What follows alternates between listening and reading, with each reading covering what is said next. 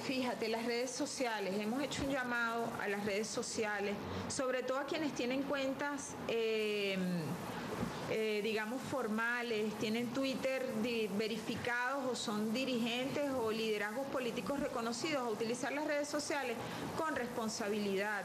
Eh, yo quiero, por ejemplo, hacer mención de algunos montajes que nosotros hemos visto en nuestras redes sociales. Fíjense este hombre aquí, esto fue hecho por los humanistas pacíficos del criminal fascista asesino del régimen del PSV. Merecen perdón. Entonces ustedes ven esta imagen y es una, la original es una imagen que dice en España existe la tortura. Después sale todo el artículo del joven que fue torturado aquí, en este caso. Han rodado miles de imágenes, muchas personas ya no sabrán cuáles son reales o cuáles son falsas. Esto es, en es el medio de comunicación Al Jazeera y aquí dice SOS Represión en Venezuela Urgente, que esta foto le dé la vuelta al mundo. Y eh, pues se colocan estos cuerpos aquí en estas actuaciones.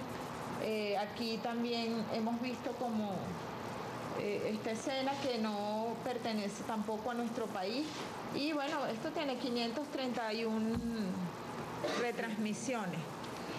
Eh, es importante, fíjense, eh, por ejemplo, vamos a, dejar esto para después, que se utilicen las redes con responsabilidad, que no retuiteemos o no retransmitamos o no divulguemos informaciones que no sean fidedignas, que puedan mover a la violencia, que puedan mover al pánico inclusive si se hace una denuncia que trate de hacerse frente a los órganos que pueden dar respuesta. Por ejemplo, si una persona ha sido golpeada, lo más importante en este minuto es que esa persona sea objeto de un examen médico, ¿cierto?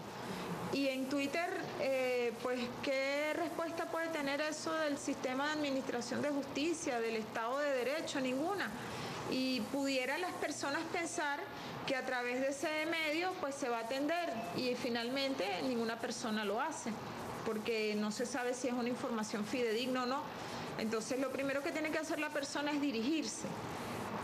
Los medios sociales también, bueno, se pueden hacer denuncias, elevar denuncias, como no, nosotros no estamos cerrados a eso, pero tiene que haber la garantía de que se atienda el caso y utilizar las redes sociales con responsabilidad, porque la gente se enerva, se exacerba, las personas piensan que tienen que salir a la calle y salen con un nivel de violencia, porque fíjense, el Twitter qué es? El Twitter es su teléfono personal y usted le llega un mensaje, ni siquiera tiene que prender la televisión.